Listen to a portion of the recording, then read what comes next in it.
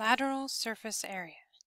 The lateral surface area, or LSA, of a geometric solid is the surface area of only the lateral side of the solid. The following figure gives an illustration of the total surface area of a cylinder. So the total surface area would be the circular faces plus the lateral face. So we have the area of each circular face plus the area of the lateral face makes up the total surface area. Hence, we have the area of a circle twice, and then the area part that is the lateral surface area, which when we roll it out and lay it flat is basically a rectangle with length side being the circumference of a circle, and then the width side the height. So it's really just that circumference 2 pi r times h.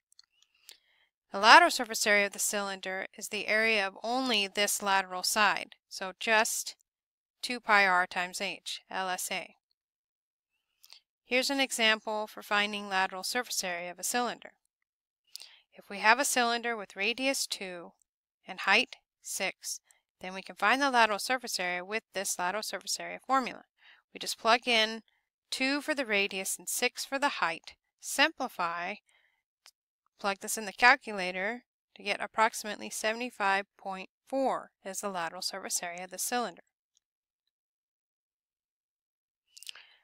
The lateral surface area of a cone is the surface area of the red region on the lateral side of the cone. So it's this lateral side. It does not include the circular base of the cone.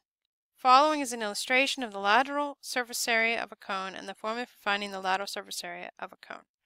So lateral surface area is half circumference of the circle, which represents one side, times the height that slant height. HS is for slant height. So this would be the height from the regular height from the base of the cone to the vertex. Slant height is this height of the slanted side of the cone, HS.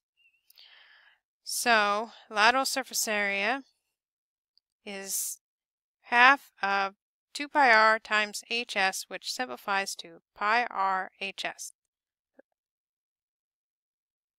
In some problems, slant height may also be referred to as just S.